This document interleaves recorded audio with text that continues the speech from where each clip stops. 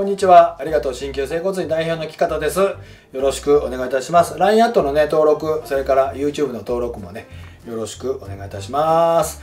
えっ、ー、とですね、今日はね、うん、結構重要です。皆さんこれで失敗するんで、これで失敗するんでね、そう昔ありましたけどね、あの、そうじゃなくて、巻き爪の場合なんですけどまあ外反母趾の人もねもう爪切りあ言っちゃった。さっき言っちゃった。爪切りなんですけど外反母趾の人もね下手な人多いんですよね。で爪切りの選び方っていうのを今日ちょっとお話しさせてもらうんですけど爪切りって皆さんどんなしてますか？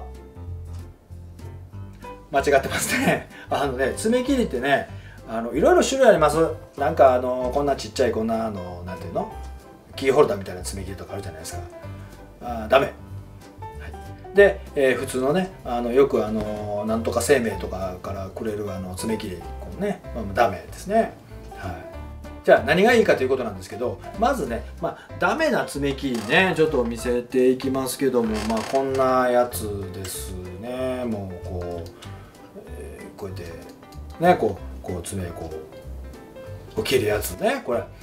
これ何があかんかっつったらこれねあの正面切れるんやけどこの中のねこの辺横ちょっとか切りにくいんですよね結構。これ。これ切りにくい。これちょっと大きすぎますね。これ L ぐらい、うん、で次はねまあまあちょっとちっちゃめ。これですね。これね結構手の爪は切れるんですよね。あのこういう爪切りの場合って。足切りにくいですよめっちゃ。これ切りにくい。これはねあのあんまり良くないですね。特にあの年配の方の爪切りってあのこんなんで切って悪くなる人もいて。で分厚いから切れないですねこういうのね。あのこういうのあの切れにくい切りにくいめっちゃ。これダメ。だダメっていうかダメダメです。ダメね。でじゃあ一体何がいいかって。ほんならどんなのがいいのって言って。よくあのあのねメーカーちょっと名前言えないですけどペンチ式のあのあのねちょっと高いやつ。歯かけたら。あの研いでくれてまたねいくらかかかるんですけどそういうあのペンチ式の爪切りあるんですけどこれはね高い。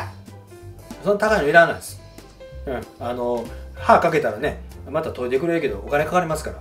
高い。もうそれはちょっと僕はいいらんかなと思うんですけどね。なんか今知ってます？電動の爪切りってあるんですよ。ジーって。あダメ。あんな見えへんから分からへんね。あのあかんね。足とかね。あんま良くないですね。ほんであの僕が使ってるのはまずね安い。ねよう切れる。よう見える。僕は好き。あの形がかっこいい。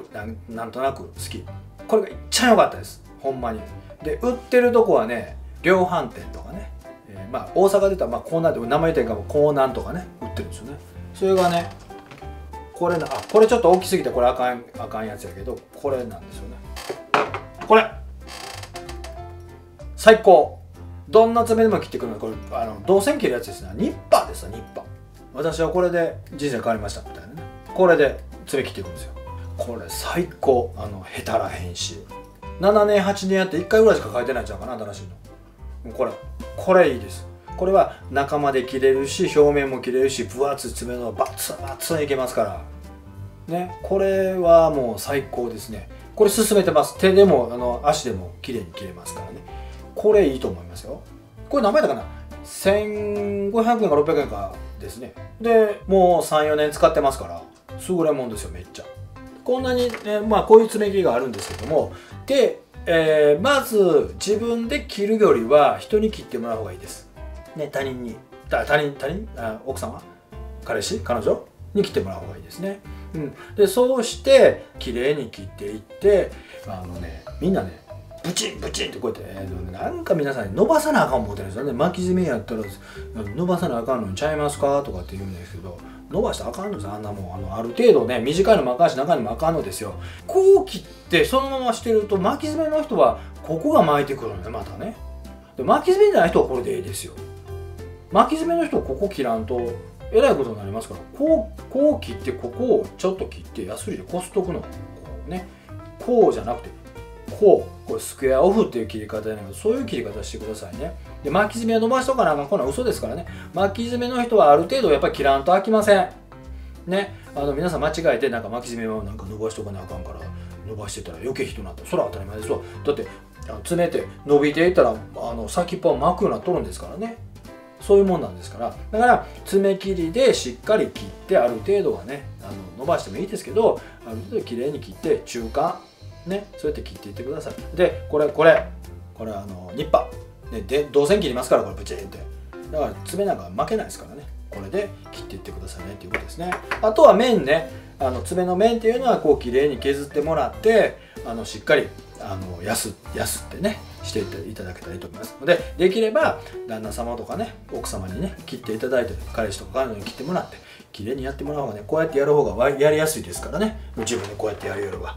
やりやすいのでそういう形でやった方がいいですね。まああの不仲の場合はねあの信用ないのであの嫌やって言われる人私お父ちゃんに切られるの嫌やねん怖いからってなんか身まで切られそうみたいな。身切られたとかいう人いてますからね。まあそれはしゃあないから それはもうね家庭の問題なんでね僕はどこ言いませんけども。それから種に切ってもらうとかした方がいいと思いますね。でこれニッパーこれ。最高。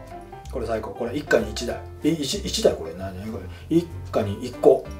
あのこういうのを買うてくださいね。でえっ、ー、とねあのまたねホームページ巻き爪とか外反母趾とかもねうちやってますけどもあそうそう外反母趾の人もねあの爪切り下手なんでねこういうのね練習。で YouTube でもね爪の切り方とかね若干あの前に上げてるやつもありますのでそういうのを見ていただいてちょっと勉強してくださいね。でホームページまたね LINE されるときは来てうちに LINE されるときはね、えー、来てください、えー、見てくださいねホームページね。えっ、とここにあります巻き爪外反母趾、えー、生体のねホームページありますから見といてくださいね。